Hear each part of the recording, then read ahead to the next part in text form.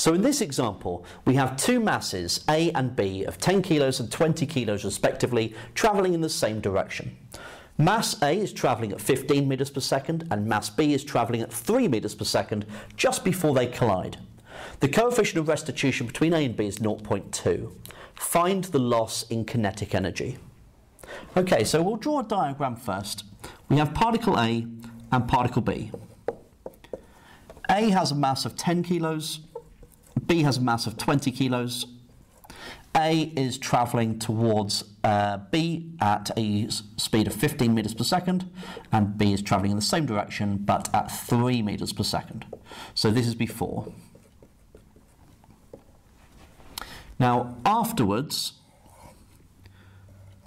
for A, we don't know its velocity, so I'll write that as u meters per second. And the same for B, I don't know that's uh, velocity either, so I'll write it as v meters per second. That's after. Their masses, of course, won't have changed. And we know that the coefficient of restitution is 0.2. So just as we did in the previous video, we will utilise the conservation of linear momentum and the calculation for the coefficient of restitution. So the conservation of linear momentum first, that would be 10, so the mass times the velocity, 10 times 15, plus 20 times by 3. And that's going to be equal to 10 times u plus 20 times v. So we'll have 10u plus 20v is equal to 150 plus 60, so 210. Now we can simplify that, divide through by 10 if we like, so u plus 2v is 21. And that will be my first equation. Now the calculation for the coefficient of restitution is the speed of separation, which will be v minus u, divided by the speed of approach, which is 15 take away 3 and that's going to be equal to 0.2. So v minus u is going to be equal to 12 times 0.2, so 2.4. And that's equation number two. Now I should be able to solve those on my calculator.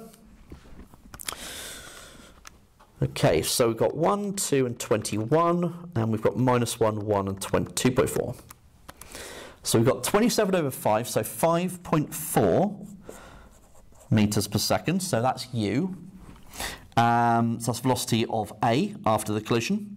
And the velocity of B after the collision is 7.8 meters per second. Or, or U is just 5.4 and V is 7.8. So I've got the units there already. Okay. Right, so now find the loss in kinetic energy.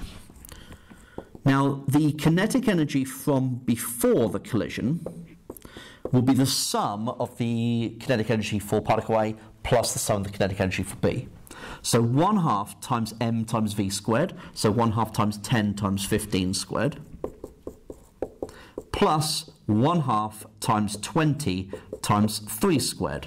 That will be the kinetic energy for B. So 0.5 times 10 times 15 squared plus 0.5 times 20 times 3 squared. And that's 1,215 joules. Now the kinetic energy afterwards will be equal to 1 half times m times v squared. So in this case u squared, which is the 5.4 squared, plus 1 half times m times 7.8 squared. So 0.5 times 10 times 5.4 squared plus half times 20 times 7.8 squared. And we get 754.2 joules. So the kinetic energy lost in the collision will be 1,215 take away 754.2. So 1215 take away 754.2 and we get 460.8 joules. So that is the loss in kinetic energy.